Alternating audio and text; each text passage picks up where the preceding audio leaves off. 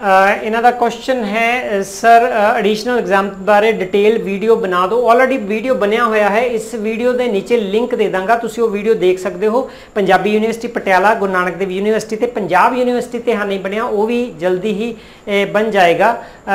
ਜਿਵੇਂ ਸਰ ਮੈਂ BSc non medical with computer ਕੀਤੀ ਹੈ। ਹੁਣ ਮੈਂ ਬੀਐਸਸੀ ਨਾਨ ਮੈਡੀਕਲ ਕੰਪਿਊਟਰ ਕੀਤੀ ਹੈ ਤੇ ਮੈਥ ਤੁਸੀਂ ਪੜਿਆ ਹੋਵੇਗਾ ਮੈਥ ਔਰ ਲੈਂਗੁਏਜ ਲੈ ਲਈ ਹੈ ਨਾ ਅਹ ਤੇ ਐਡੀਸ਼ਨਲ ਪੇਪਰ ਕਦੋਂ ਦੇਣਾ ਹੋਏਗਾ ਕਦੋਂ ਇਹ ਸਭ ਇਸ ਕੁਛ ਪੁੱਛ ਰਹੇ ਹੋ ਕਦੋਂ ਦੇਣਾ ਪਏਗਾ ਬੀਐਡ ਤੋਂ ਪਹਿਲਾਂ ਅਹ, ਅਹ, ਤੇ ਬੀਐਡ ਦੇ ਨਾਲ ਜਾਂ ਬੀਐਡ ਤੋਂ ਬਾਅਦ ਵਾਹ ਯਾਰ ਕੀ ਬਾਤ ਹੈ वेरी गुड शाबाश बीएड से पहले ये रहा बीएड ये इन्होंने क्वेश्चन पूछा है बीएड से पहले बीएड से दौरान बीएड के बाद उत्तर है कभी भी दे सकते हो अगर बीएड का समय आ गया है मिल गई है तो ड्यूरिंग बीएड दे सकते हो एक ही रिस्क है कि अगर क्लैश हो गया तो जिम्मेवारी आपकी है आपको एक पेपर छोड़ना पड़ेगा। नेचुरली बीएड का नहीं छोड़ोगे वो छोड़ दोगे।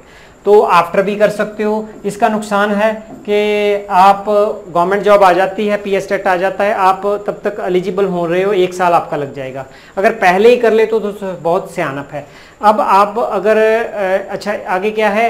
ये एडिशनल पेपर कदे कॉलेज करवाएगा बीएड वाला ही या कोई होर ਅਤੇ फ़ीस ये सारे उत्तर उस वीडियो में दिए गए हैं। आपने यूनिवर्सिटी नहीं बताई यूनिवर्सिटी भी आपको बतानी चाहिए थी। अ, तो ये रह गया आपका कि अगर आप बीएड में हैं आपका लैंग्वेज है फॉर एग्जांपल इंग्लिश है तो इंग्लिश का ड्यूरिंग बीएड भी आप दे सकते हो तीन साल के पेपर हैं। और एक सेम और सेम टू दो सेम लगेंगे आपको एक साल लग जाएगा। सात आठ महीने लगेंगे एक साल नहीं। तो ये दे सकते हो साथ में। इसकी फ़ीस कितनी है, कब जाती है, ऑनलाइन है, ऑफलाइन है, ये यूनिवर्सिटी टू यूनिवर्सिटी वेरी करता है। दोनों वीडियो नीचे होंगे, आप लिंक दे देता हूँ, वहाँ से आप स्टडी कर लीजिए, ओके? नेक्स्ट है, सर मैंने बीएससी एमएससी फ़ैशन डिज़ाइनिंग में की हुई है थ्री ईयर इंग्लिश पंजाबी और three year Punjabi compulsory English ये तीन सब्जेक्ट किए हैं। सर प्लीज़ मुझे बताइए कि मैं बीएड में कौन सा मैं नीचे लिख देता हूँ। फ़ैशन डिज़ाइनिंग की बात किया वैसे छोटी सी बड़ी बात नहीं है। आपको फ़ैशन डिज़ाइनिंग में एमएससी बीएससी भी किए है ना? आपको फाइन आर्ट ही मिलेगा। फ़ैशन डिज़ाइनिंग फाइन आर्ट ही मिलेगा। फाइन आर्ट के साथ आपने एक जो सब्जेक्ट पढ़ा हुआ है, यहाँ पर आपने अब ये कंप्यूटर कितने साल पढ़ा है? ये नहीं यहाँ लिखा। तीन साल है? है यूज़ मैंने तीन ईयर इंग्लिश पंजाबी और कंप्यूटर ये तीन सब्जेक्ट किए हुए हैं। है, बात समझ में नहीं आई कि आपने ये भी किया है और ये भी पढ़ा हुआ है। अगर कंप्यूटर तीन साल पढ़ा हुआ है तो अगर पढ़ा है तो आप फाइन आर्ट और एम एस सी क्योंकि की हुई है? फाइन आर्ट और इंग्लिश ले लीजिए, ये बेटर है। या फाइन आर्ट पंजाबी ले लीजिए, अगर ये इलेक्टिव पढ़े हुए हैं तीन तीन साल, अगर इलेक्टिव पढ़े हुए हैं तीन तीन साल।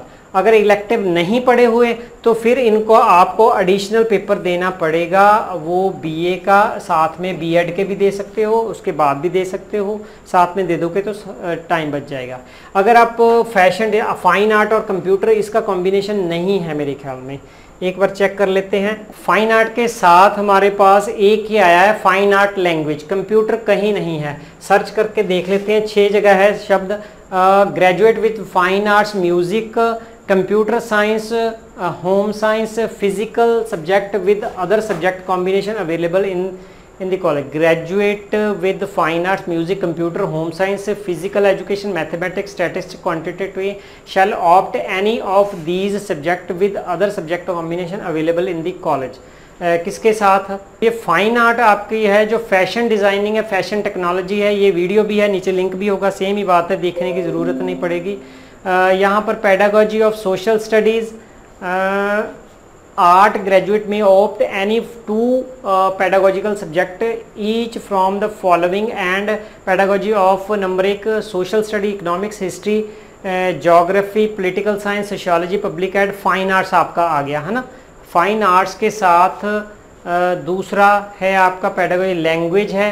नेचुरली ये बन रहा है provided in candidate graduation and post graduation level तो ये आपका बन रहा है फाइन आर्ट्स और इंग्लिश फाइन आर्ट्स और पंजाबी अगर हिंदी पढ़ी है तो एक साल आपका ये बनेगा। आपका अ, और कोई नहीं बन रहा यही दिखाई दे रहा है। वापस चलते हैं यहाँ पर आ गए ये आ गए कंप्यूटर ओके तो वो आपको एडिशनल देना ही पड़ेगा। ये आपने नहीं बताया कि आपने इलेक्टिव इंग्लिश पढ़ी है या नहीं।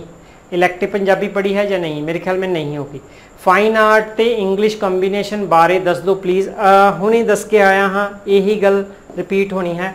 ਫਾਈਨ ਆਰਟਸ ਦੇ ਨਾਲ ਇੰਗਲਿਸ਼ ਲੈ ਸਕਦੇ ਹਾਂ। ਫਾਈਨ ਆਰਟਸ ਨੇ ਇੰਗਲਿਸ਼ ਜੇ ਜਨਰਲ ਪੜਿਆ ਹੈ, ਤਾਂ ਤੁਹਾਨੂੰ ਐਡੀਸ਼ਨਲ ਇੰਗਲਿਸ਼ ਦੇਣਾ ਪਏਗਾ।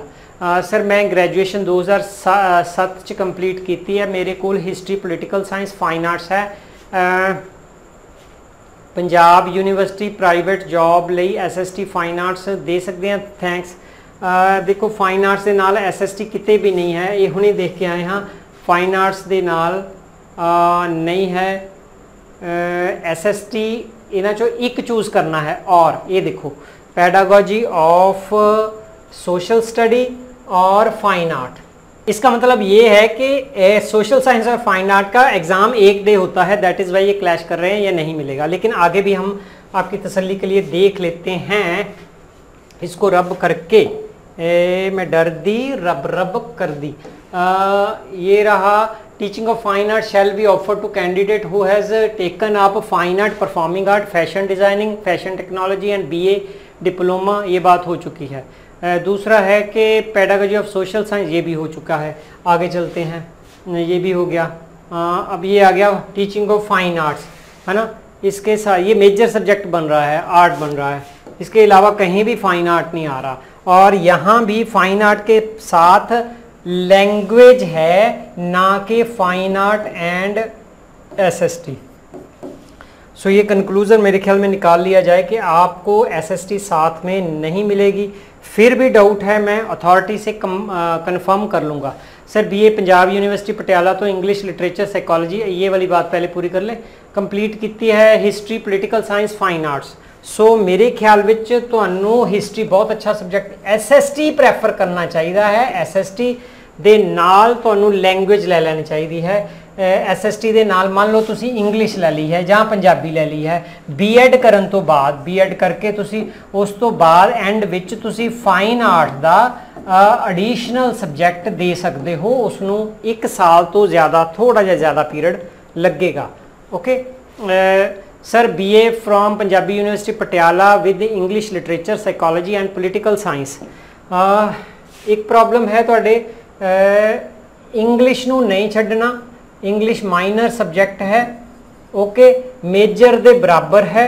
ਟੀਜੀਟੀ ਲਈ ਐਲੀਜੀਬਲ ਹੋ ਗਵਰਨਮੈਂਟ ਜੌਬ ਲਈ। ਕੋਈ ਐਡੀਸ਼ਨਲ ਨਹੀਂ ਦੇਣਾ ਪਏਗਾ, ਇਹਨੂੰ ਨਹੀਂ ਛੱਡਣਾ।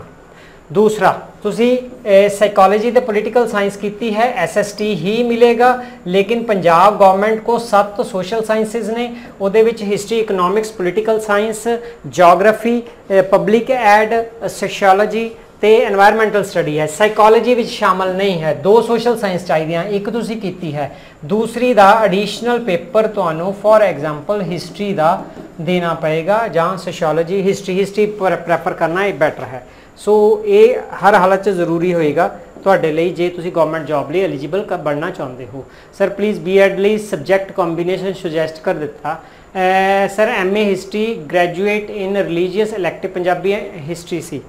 ਐਮਏ ਹਿਸਟਰੀ ਹੈ, ਇਹ ਹੋ ਗਿਆ ਗ੍ਰੈਜੂਏਸ਼ਨ ਵਿੱਚ ਰਿਲੀਜੀਅਨ ਇਲੈਕਟਿਵ ਪੰਜਾਬੀ ਤੇ ਹਿਸਟਰੀ ਔਰ ਇਹ ਰਿਲੀਜੀਅਨ ਨੂੰ ਔਰ ਹੈ, ਇਹਨਾਂ ਨੂੰ ਇਕੱਠੇ ਕਰਕੇ ਤੁਹਾਡਾ ਬਣ ਗਿਆ ਐਸਐਸਟੀ ਲੇਕਿਨ ਰਿਲੀਜਨ ਸੱਤ ਗਵਰਨਮੈਂਟ ਦੇ ਸਬਜੈਕਟ ਵਿੱਚ ਨਹੀਂ ਹੈ ਹਿਸਟਰੀ ਹੈ ਔਰ ਰਿਲੀਜਨ ਦੇ ਐਡੀਸ਼ਨਲੀ ਜੇ ਪੰਜਾਬ ਵਿੱਚ ਐਲੀਜੀਬਲ ਬਣਨਾ ਚਾਹੁੰਦੇ ਹੋ, ਤੁਹਾਨੂੰ ਪੋਲੀਟੀਕਲ ਸਾਇੰਸ ਦਾ ਜੋ ਸਕੂਲ ਸਬਜੈਕਟ ਹੈ ਜੀਓਗ੍ਰਾਫੀ ਇਕਨੋਮਿਕਸ ਵੀ ਕਰ ਸਕਦੇ ਹੋ, ਇਸ ਦਾ ਐਡੀਸ਼ਨਲ ਪੇਪਰ ਦੇਣਾ ਪਏਗਾ।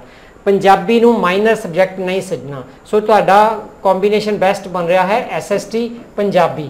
ਪੰਜਾਬੀ ਟੀਜੀਟੀ ਲਈ ਤੁਸੀਂ ਐਲੀਜੀਬਲ ਹੋ ਐਮਏ ਪੰਜਾਬੀ ਕਰ ਲੋਗੇ ਤਾਂ ਪੀਜੀਟੀ ਲਈ ਵੀ ਐਲੀਜੀਬਲ ਬਣ ਜਾਓਗੇ, ਇਹ ਕੰਬੀਨੇਸ਼ਨ ਨਹੀਂ ਛੱਡਣਾ।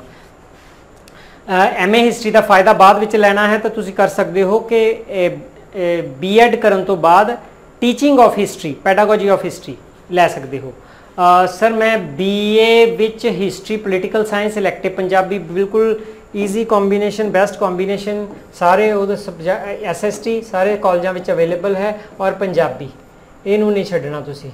ਦੋਨੇ ਤੁਸੀਂ ਟੀਜੀਟੀ ਲਈ ਐਲੀਜੀਬਲ ਹੋ, ਇਹ ਵੀ ਟੀਜੀਟੀ ਲਈ ਐਲੀਜੀਬਲ ਹਨ ਗਵਰਨਮੈਂਟ ਜੌਬ ਲਈ ਐਲੀਜੀਬਲ ਹਨ, ਕੋਈ ਵੀ ਤੁਹਾਨੂੰ ਐਡੀਸ਼ਨਲ ਪੇਪਰ ਨਹੀਂ ਦੇਣਾ ਪਏਗਾ।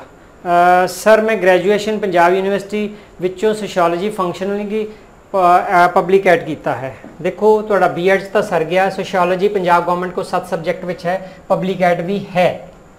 ਲੇਕਿਨ ਇੱਕ ਕੰਡੀਸ਼ਨ ਕੀ ਹੈ ਕਿ ਦੋ ਸੋਸ਼ਲ ਸਾਇੰਸਸ ਹੈ ਨਾ, ਇਹ ਮਿਲ ਕੇ ਤੁਹਾਡਾ ਐਸਐਸਟੀ ਬਣ ਗਿਆ। ਲੇਕਿਨ ਪੰਜਾਬ ਗਵਰਨਮੈਂਟ ਵਿੱਚ ਪੀਐਸ ਟੈਟ ਵੀ ਮੰਨ ਲਓ ਤੁਸੀਂ ਕਲੀਅਰ ਕਰ ਲਿਆ। ਲੇਕਿਨ ਬਾਅਦ ਵਿੱਚ ਤੁਹਾਡੇ ਸੱਤ ਜਿਹੜੀਆਂ ਪੰਜਾਬ ਗਵਰਨਮੈਂਟ ਨੇ ਸੋਸ਼ਲ ਸਾਇੰਸਸ ਰੱਖੀਆਂ ਹਨ, ਉਹਨਾਂ ਦੇ ਵਿੱਚੋਂ ਇੱਕ ਕੰਡੀਸ਼ਨ ਕੀ ਹੈ ਕਿ ਦੋ ਸੋਸ਼ਲ ਸਾਇੰਸ ਹੁਣ ਤੁਸੀਂ ਪੜ੍ਹੀਆਂ ਹਨ, ਪਰ ਇਹ ਦੋ ਦੇ ਵਿੱਚੋਂ ਇੱਕ ਜਿਹੜਾ ਹੈ ਸਬਜੈਕਟ ਉਹ ਸਕੂਲ ਸਬਜੈਕਟ ਹੋਵੇ। ਸਕੂਲ ਸਬਜੈਕਟ ਕਿਹੜੇ ਨੇ? ਚਾਰ, history, political science, economics, geography. ਤੁਸੀਂ ਉਹ ਨਹੀਂ ਪੜ੍ਹੇ। ਇਟ ਮੀਨਸ ਤੁਹਾਨੂੰ ਐਡੀਸ਼ਨਲ ਪੇਪਰ ਇੱਕ ਦੇਣਾ ਪਏਗਾ। ਉਹ ਕਿਹੜਾ ਹੋਣਾ ਚਾਹੀਦਾ ਹੈ? ਹਿਸਟਰੀ ਹੀ ਹੋਵੇ। ਪੋਲੀਟੀਕਲ ਸਾਇੰਸ ਨਾ ਲਈਓ, ਕਿਉਂਕਿ ਹਿਸਟਰੀ ਨਾਲ ਤੁਸੀਂ ਕੇਂਦਰੀ ਵਿਦਿਆਲੇ ਵਿੱਚ ਵੀ ਇਸੇ ਦੇ ਨਾਲ ਐਲੀਜੀਬਲ ਹੋ ਜਾਓਗੇ। ਪੋਲੀਟੀਕਲ ਸਾਇੰਸ ਕਰੋਗੇ ਤਾਂ ਐਲੀਜੀਬਲ ਕੇਂਦਰੀ ਵਿਦਿਆਲੇ, ਨਵੋਦਿਆ ਵਿਦਿਆਲਿਆ ਸੀਬੀਐਸਈ ਚ ਨਹੀਂ ਹੋਗੇ ਸੋ ਇਹ ਤੁਹਾਡਾ ਬਣ ਗਿਆ ਐਸਐਸਟੀ ਔਰ ਦੂਸਰਾ ਤੁਸੀਂ ਪੜ੍ਹੀ ਹੋਈ ਹੈ ਸੋਸ਼ੀਓਲੋਜੀ ਆਨਰ ਵੀ ਹੈ ਤੁਹਾਡਾ ਪਰ ਨਹੀਂ, ਇਹ ਬੈਟਰ ਹੈ ਬੈਸਟ ਹੈ। ਹੁਣ ਫੰਕਸ਼ਨਲ ਇੰਗਲਿਸ਼ ਪਤਾ ਨਹੀਂ ਕੀ ਹੈ ਕਿ ਜੇ ਤਾਂ ਇਹ ਇਲੈਕਟਿਵ ਇੰਗਲਿਸ਼ ਦੇ ਬਰਾਬਰ ਹੈ, ਤਾਂ ਤੁਹਾਨੂੰ ਇੰਗਲਿਸ਼ ਹੀ ਲੈਣੀ ਚਾਹੀਦੀ ਹੈ। ਇੰਗਲਿਸ਼ ਹੀ ਪ੍ਰੈਫਰ ਕਰੋ। ਜੇ ਨਹੀਂ ਹੈ, ਤਾਂ ਫਿਰ ਇਲੈਕਟਿਵ ਇੰਗਲਿਸ਼ ਦਾ ਤੁਹਾਨੂੰ ਕਰਨਾ ਪਏਗਾ ਮਾਈਨਰ ਦੇ ਬਾਅਦ ਵੀ। Functional English the please tell me my subject combination BA ਚ elective English sociology physical education ਹੈ। ਔਰ ਇਹ ਤੁਸੀਂ ਸੋਸ਼ੀਓਲੋਜੀ ਹੈ ਫਿਜ਼ੀਕਲ ਐਜੂਕੇਸ਼ਨ ਹੈ, ਇਸ ਤੋਂ ਇਲਾਵਾ ਕੁਝ ਕੀਤਾ ਹੈ? PU ਚੰਡੀਗੜ੍ਹ MA ਐਮਏ ਵੀ ਕੰਪਲੀਟ ਕਰ ਲਈ ਹੈ ਸੋਸ਼ੀਓਲੋਜੀ ਦੀ।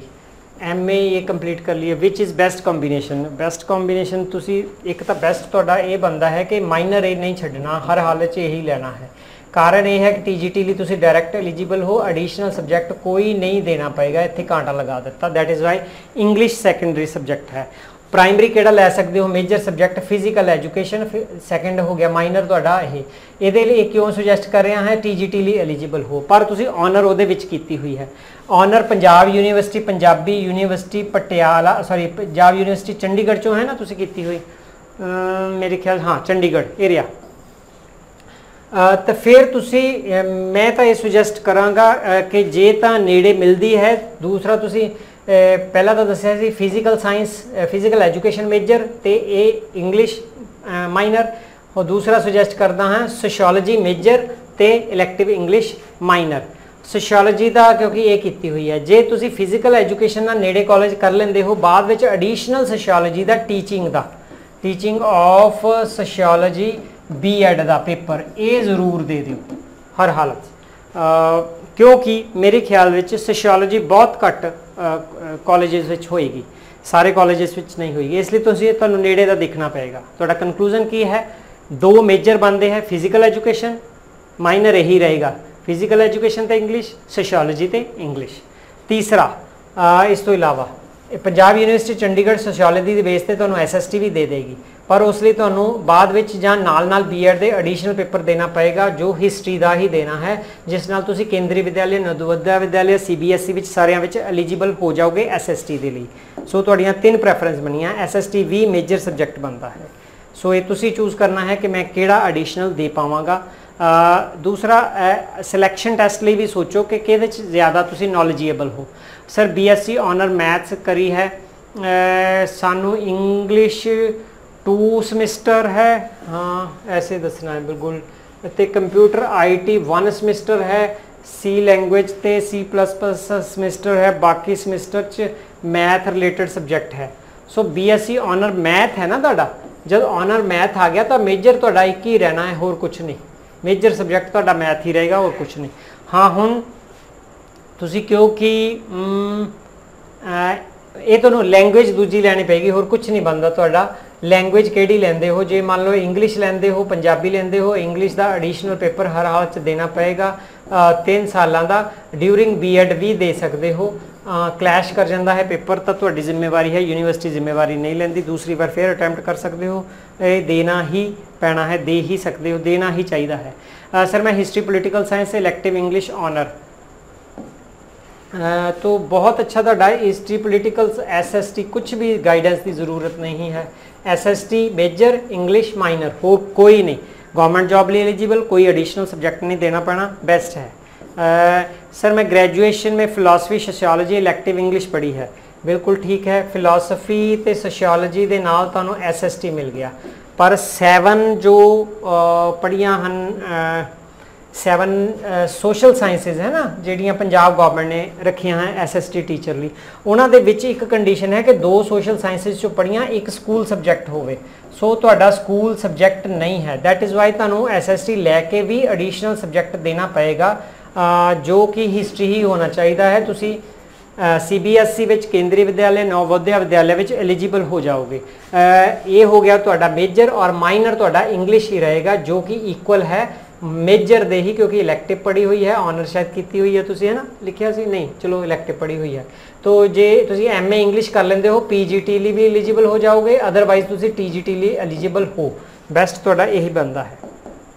ਨੈਕਸਟ ਹੈ ਸਾਡਾ ਸਰ, ਮੈਨੇ GNDU elective Punjabi history political science ਹਾਂ, ਰਾਜੇ, ਬਹੁਤ ਅੱਛਾ ਹੈ ਵੈਰੀ ਗੁੱਡ ਹੈ। ਸੋਸ਼ਲ ਸਾਇੰਸ ਐਸਐਸਟੀ ਤੁਹਾਡਾ ਮੇਜਰ ਬਣ ਗਿਆ ਟੀਜੀਟੀ ਲਈ ਐਲੀਜੀਬਲ ਹੋ ਐਡੀਸ਼ਨਲ ਕੋਈ ਨਹੀਂ ਦੇਣਾ ਪੈਣਾ। ਇੱਥੇ ਮੈਂ ਕਾਂਟਾ ਲਗਾ ਰਿਹਾ ਹੈ ਗਵਰਨਮੈਂਟ ਜੌਬ ਲਈ ਡਾਇਰੈਕਟ ਐਲੀਜੀਬਲ ਬਣ ਰਹੇ ਹੋ। ਨਾਲ ਮਾਈਨਰ ਪੰਜਾਬੀ ਹੀ ਲੈਣਾ ਹੈ ਟੀਜੀਟੀ ਲਈ ਐਲੀਜੀਬਲ ਬਣ ਰਹੇ ਹੋ ਐਡੀਸ਼ਨਲ ਨਹੀਂ ਦੇਣਾ ਪੈ ਰਿਹਾ, ਮੈਂ ਕਾਂਟਾ ਲਗਾ ਦਿੱਤਾ ਹੈ ਔਰ ਗਵਰਨਮੈਂਟ ਜੌਬ ਲਈ ਐਲੀਜੀਬਲ ਬਣ ਰਹੇ ਹੋ। ਤੁਹਾਡਾ ਬੈਸਟ ਕੰਬੀਨੇਸ਼ਨ ਹੈ ਐਸਐਸਟੀ ਪੰਜਾਬੀ। ਮੇਰੇ ਇਸ ਐਂਟਰੈਂਸ 'ਚ 72 ਮਾਰਕਸ ਆਏ ਨੇ। ਮੈਂ ਗਵਰਨਮੈਂਟ ਕਾਲਜ ਵਿੱਚ ਐਸਸੀ ਕੋਟਾ ਵਿੱਚ ਸੀਟ ਮਿਲ ਜੂਗੀ ਸਬਜੈਕਟ ਕੰਬੀਨੇਸ਼ਨ ਰਾਜੇ, ਕਿਹੜਾ ਗਵਰਨਮੈਂਟ ਕਾਲਜ ਜੀਐਨਡੀਯੂ ਚ ਜਲੰਧਰ ਹੀ ਹੈ? ਓਕੇ ਹਾਂ, ਸੰਭਾਵਨਾ ਹੈ ਮਿਲਣ ਦੀ ਵੈਸੇ। ਸੰਭਾਵਨਾ ਹੈ ਮਿਲਣ ਦੀ। ਪਿਛਲੀ ਵਾਰ ਇੰਨੇ ਤੇ ਮਿਲ ਗਈ ਸੀ। ਇਸ ਵਾਰ ਪਰ ਕੈਂਡੀਡੇਟ ਜ਼ਿਆਦਾ ਨਾ ਹੈ। ਹਨਾ? ਐਜ ਤੇ ਹੈ ਤੁਹਾਡਾ। ਯੈਸ ਸਰ ਮੈਨੂੰ ਆਲਮੋਸਟ ਹਰ ਵੀਡੀਓ ਨੀਚੇ ਕਮੈਂਟ ਕਰਕੇ ਦੇਖਿਆ ਹੈ। ਇੱਕ ਮਹੀਨੇ ਤੋਂ ਸਰ ਜੀ, ਮੈਂ public ad public ad political science ਔਰ ਪਬਲਿਕ ਐਡ ਔਰ ਪੋਲੀਟੀਕਲ ਸਾਇੰਸ ਔਰ ਹਿਸਟਰੀ ਦੇ ਨਾਲ ਗ੍ਰੈਜੂਏਸ਼ਨ ਕੀਤੀ ਹੈ। ਅੱਗੇ ਮੈਂ ਐਮਏ ਪੋਲੀਟੀਕਲ ਸਾਇੰਸ ਔਰ ਕਰਕੇ ਡੀ ਕਰਨਾ ਚਾਹੁੰਦਾ ਹਾਂ। ਉਸ ਵਾਸਤੇ ਕੰਬੀਨੇਸ਼ਨ ਬੀਐਡ ਵਿੱਚ ਐਸਐਸਟੀ ਇੰਗਲਿਸ਼ ਠੀਕ ਰਹੇਗਾ। ਪੀਯੂ ਚੰਡੀਗੜ੍ਹ ਤੋਂ ਗੁੱਡ ਸਾਰੀ ਇਨਫੋਰਮੇਸ਼ਨ ਦਿੱਤੀ ਹੈ। ਸ਼ਾਬਾਸ਼। ਗ੍ਰੈਜੂਏਸ਼ਨ ਕੀਤੀ ਹੈ। ਸੋ ਐਸਐਸਟੀ ਤੁਹਾਡਾ ਐਲੀਜੀਬਲ ਹੈ, ਬਿਲਕੁਲ ਜੌਬ ਲਈ ਟੀਜੀਟੀ ਲਈ ਐਲੀਜੀਬਲ ਹੋ ਗਵਰਨਮੈਂਟ ਜੌਬ ਲਈ ਬਿਲਕੁਲ ਤੁਹਾਡਾ ਬਣ ਰਿਹਾ ਹੈ, ਇਹ ਨਹੀਂ ਛੱਡਣਾ। ਦੂਸਰਾ ਤੁਹਾਡਾ ਇੰਗਲਿਸ਼ ਲੈ ਰਹੇ ਆ, ਲੈ ਲਓ, ਬਿਲਕੁਲ ਠੀਕ ਹੈ ਇਸ ਦਾ ਐਡੀਸ਼ਨਲ ਪੇਪਰ ਦੇਣਾ ਪਏਗਾ 3 ਸਾਲਾਂ ਦਾ, ਫਿਰ ਤੁਸੀਂ ਟੀਜੀਟੀ ਲਈ ਐਲੀਜੀਬਲ ਬਣੋਗੇ, ਜੇ ਐਮਏ ਕਰ ਲੈਂਦੇ ਹੋ ਤਾਂ ਫਿਰ ਤੁਸੀਂ ਪੀਜੀਟੀ ਲਈ ਇੰਗਲਿਸ਼ ਲਈ ਐਲੀਜੀਬਲ ਬਣ ਜਾਓਗੇ, ਇਹ ਦੇਣਾ ਹੀ ਪਏਗਾ। ਬਾਕੀ ਸਭ ਠੀਕ ਹੈ। ਸਰ ਚੁਆਇਸ ਫਿਲ ਕਰਨੀ ਹੈ वहाँ चॉइस मैट्रिसेस में तो सीट है है नहीं कॉलेज की? नहीं सीट में पहले आप कॉलेज देखोगे अपने मनपसंद का, वहाँ से सीट मैट्रिसेस से पता चल जाएगा कि आपके मेजर और माइनर दोनों अवेलेबल हैं। अगर दोनों अवेलेबल है, उस कॉलेज को चूज़ कीजिए तो और फिल कीजिए। दूसरा है, जब आप कॉलेज वैसे ही डायरेक्ट चॉइस फिलिंग में जाते हो तो माइनर और मेजर वहाँ भी डिस्प्ले होंगे। सर प्लीज़ होम साइंस के सब्जेक्ट कॉम्बिनेशन का दस दो।